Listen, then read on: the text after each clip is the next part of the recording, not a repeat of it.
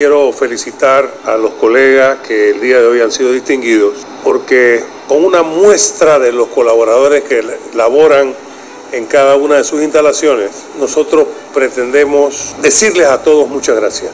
Felicito a los compañeros del Hospital Susana Yoncano por su trabajo, por su esfuerzo y además porque le dan categoría a la región en los servicios que da la caja. El desempeño del personal de la Policlínica de La Chorrera que conmemora 63 años de servicio y del Hospital Doctora Susana Jones Cano que festeja 22 años de brindar atención a la población fue reconocida durante el acto cívico realizado en la institución. Definitivamente considero que no tanto a mi persona, sino a todos los funcionarios que elaboran en el hospital, es honrar el trabajo que se ha venido desempeñando a través del tiempo.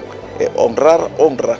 En este momento lo que yo vaya a recibir, este premio, es más que nada para quienes me han acompañado en esta gestión, exaltando el nombre y la función del Hospital Susana Jones Cano. La importancia de una atención digna y comprometida con el paciente fue reconocida a estos equipos de atención. Muchos funcionarios eh, que laboramos en la institución, que damos parte de nuestra vida en dedicarle eh, al servicio de la institución. Muy agradecido de este reconocimiento por toda mi labor a través de los años en la institución.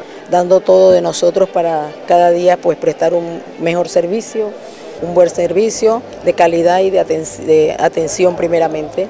Está muy bien que se nos reconozca porque hemos dedicado décadas, mi persona y muchos compañeros, para que esta institución llene eh, la misión y la visión para la cual fue creada, que es satisfacer las necesidades y demandas de salud de la población y que no se te juzgue o se te limite porque tengas o no seguro o porque tengas o no plata. Ese es nuestro sueño. 2024, año del legado.